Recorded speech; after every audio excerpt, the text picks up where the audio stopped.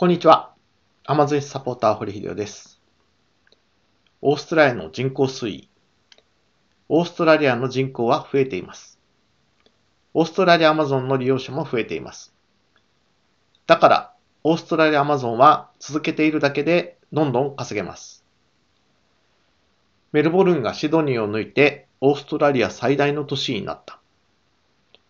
今年2023年にメルボルンの線引きが変わって、メルボルンがオーストラリア最大の都市になりました。実態はシドニーが最大の都市なのか、メルボルンが抜いたのかはわかりません。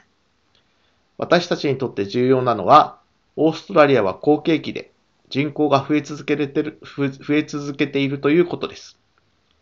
それに比べて日本の状況は、日本で稼ぐのは難しいです。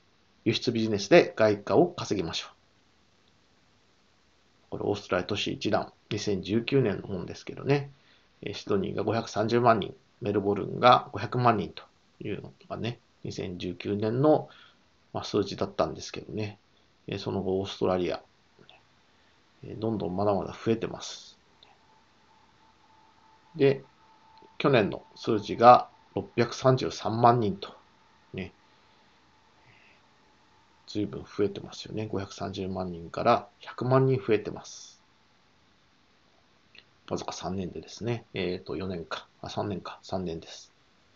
でこちら一方、メルボルン。ね、抜いたんかいなと思ったら、560万人と。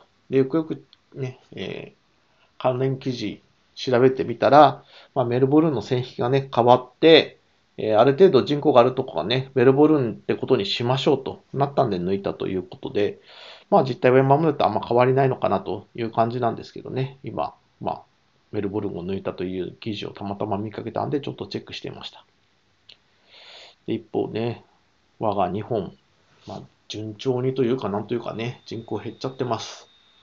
でね、えー、人口減ってる以上に深刻なのはね、えー、働いてる人の数減ってると、老人ばっか増えてるということでね、まあ、これはやっぱりますますね、商売には厳しい状況だろうなということが、容易に予想がつくというか、認めたくない真実。